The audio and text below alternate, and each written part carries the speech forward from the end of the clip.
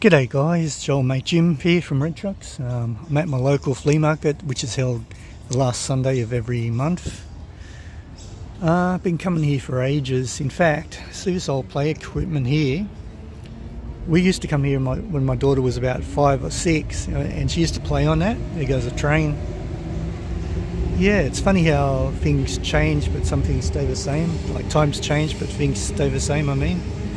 She's now 20 and this is the same uh, original equipment that was here you know, 15, 16 years ago or longer. Same with this old table I'm sitting at. So yeah, uh, I'm just waiting for my wife now. I always finish the market before her and I usually sit at this table waiting for her. Sometimes my daughter comes with us. But um, yeah, I've, I did not film the stalls today because I've had a bad experience at this market previously. Um, I was walking along filming you know, months ago and I hear this voice behind me saying, excuse me, can I take your picture? And I thought nothing of it. it didn't occur to me someone was talking to me. So I kept walking and I heard it again. Excuse me, I'd like to take your photo. And I turned around and there's this middle-aged woman. Let's call her Karen. And she was talking to me. She said, you're not allowed to walk around filming this market. I said, well, why not? Tell me. Um, there's no signs up saying no filming. I'm not filming young children. Um, it's perfectly legal.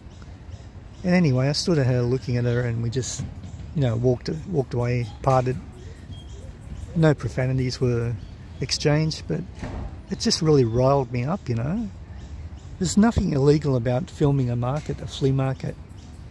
So anyway, I have filmed here since that time, but I just didn't feel like filming today.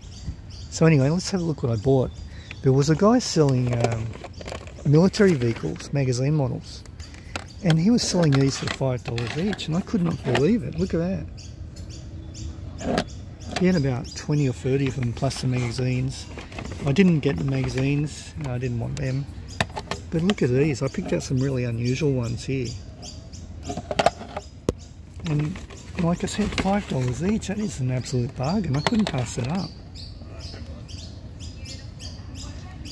I went for the more um, unique looking ones um, rather than just, you know, tanks.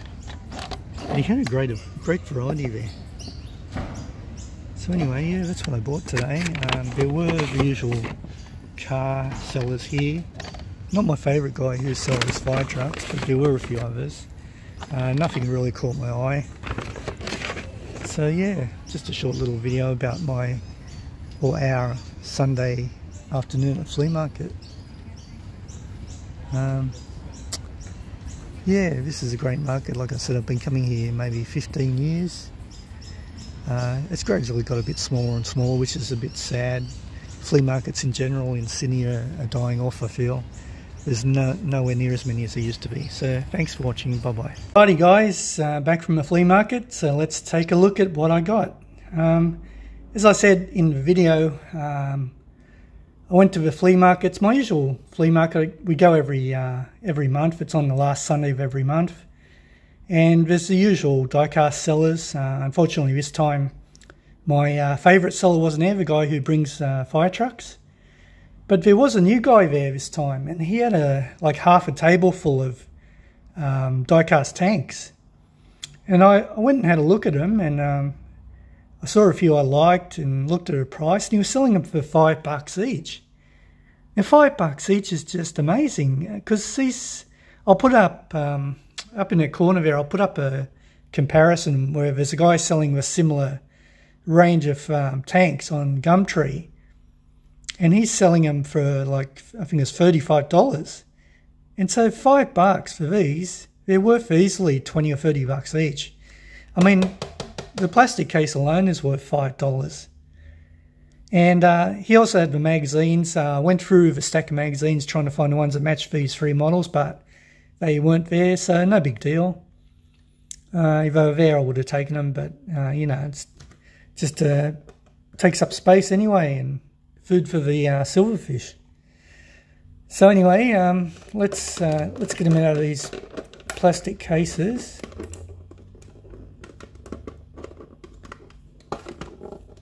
Try to. There's a little bit of sticky tape there.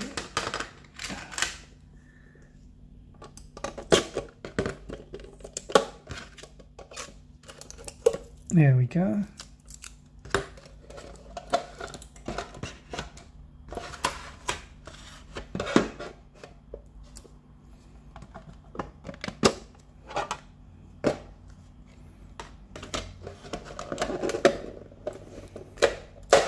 Look at these um, earlier, and these have got those terrible triangle screws. Uh, let me show you. And I don't have a triangle screwdriver. See that? But luckily, two of these um, did come loose with a normal Phillips head screwdriver. And I think it was that one I couldn't get off the base. So better go down a bit.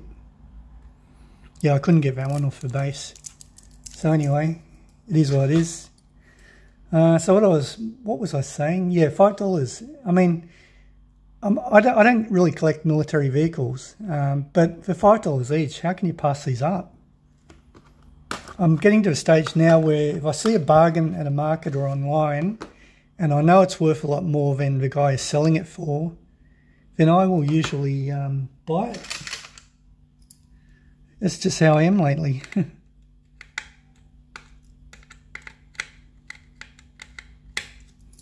I just got to find the right uh, flathead screwdriver that I was using before. Yeah, I think it's this one. Yep. So uh, I believe these are all from World War II. Uh, what did the base actually say? It might help us out a bit. So 15 centimeter Panzer Werfer 42 SD KFZ 41 Werfer Brigade 7, Orne River, France, 1944. So, yeah, World War II. Uh, shout out to my buddy in uh, Cuxhaven, Germany, um, the renowned military historian, uh, Paul Sparky Spar. Shout out to my good mate there. How's it going, Sparky? I think you'll enjoy these. So, these are, in fact, mostly die cast. Uh, with a plastic rotating, looks like a rocket launcher there. Let's see what it says on the base. Nothing to see there. Uh, the tracks don't move. Great detail on the um, mechanisms and wheels and things. Camouflage. Got a pick. Even the wheels are partly camouflaged.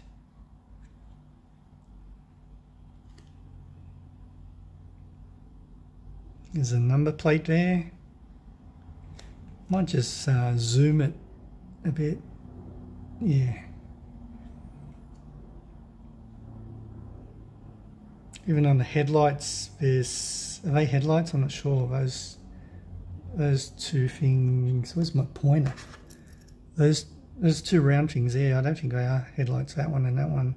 I think these are the headlights. That one and that one. So yeah, number plate.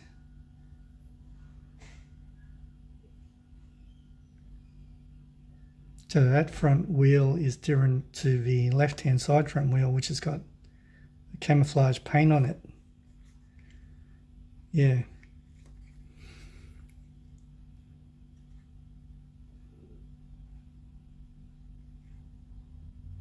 Around to the back, the number plate again.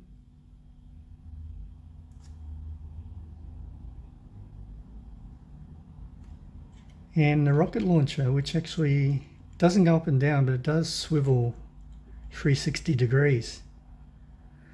So yeah the guy had plenty of tiger tanks and panther tanks Jagdpanthers um, but I, I, um, I was more interested in the unusual ones the half tracks and things like that.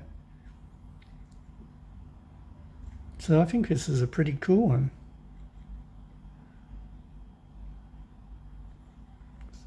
What's that on top there? It's not a gun. Not sure what that's for.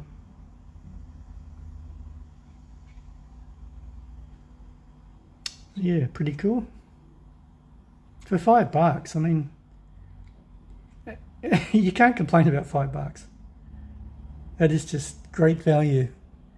So yeah, there's that one. Uh, let's move these forward.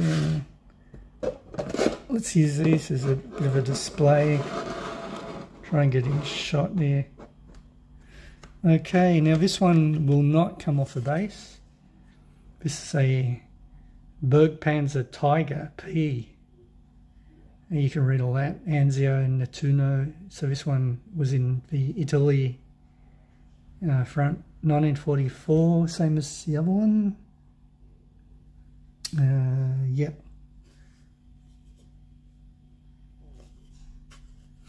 So I'm not sure what this tank actually did. It's got some sort of apparatus on it. It's, as far as I can see, it's got no weapons.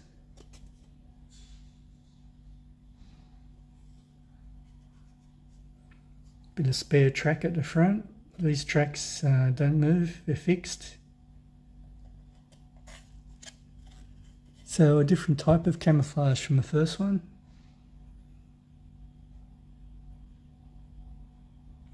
Hatches and the vents for the engine. Yeah, I'm not sure what that little gadget there is, a black one.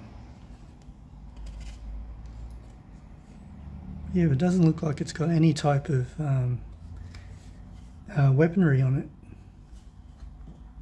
So yeah, I'm not sure what that apparatus would do. Is it a is it to lift something?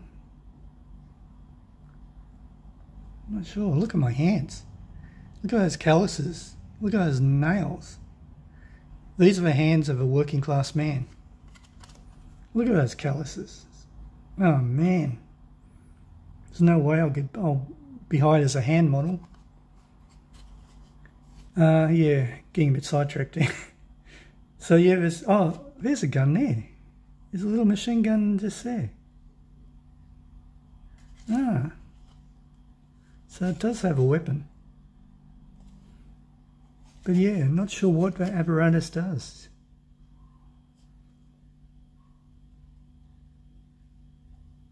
It seems to be able to lift something. It, yeah, I just liked it. It was different, so I bought it. Not sure what I'll do with these. I might swap them or give them away. Or I might just keep them. Who knows? Alright, there's that one. Let's just fix these up a bit nicely.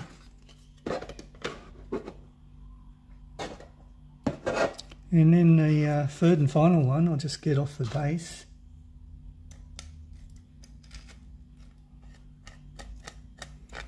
Yeah, who, who's the bright spark who puts these triangular screws in? I mean, are they trying to be smart or what? Why would you use triangular uh, screws? So anyway, uh, what, what, what is this one? I'm not even going to attempt to pronounce that but apparently it was in Libya in 1941. So this is three years before the other two. 44 and 44, yeah. So these are all from uh, different uh, areas in the war. I, I, like this one the best because it's um, it's got four axles, so it's very unusual.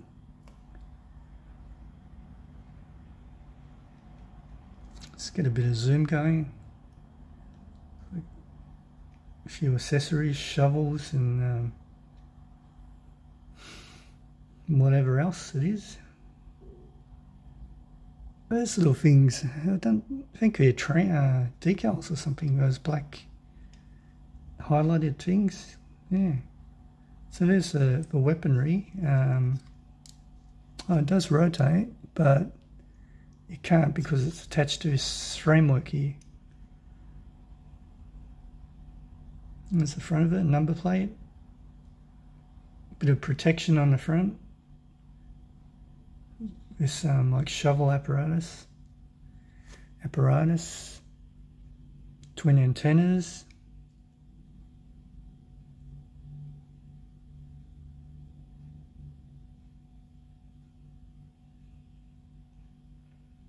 They look like uh, fuel cans, maybe.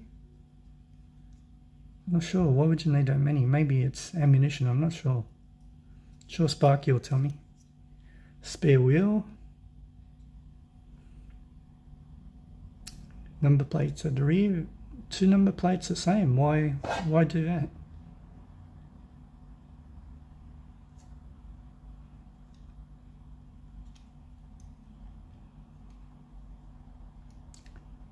So yeah, that was my little flea market haul from, um, when was it? About two weeks ago.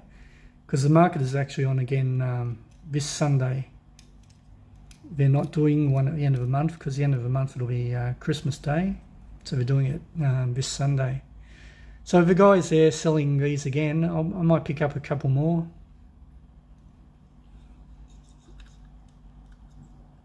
Yeah. Okay, guys, let me know what you think in the comments. Uh, which one did you like best?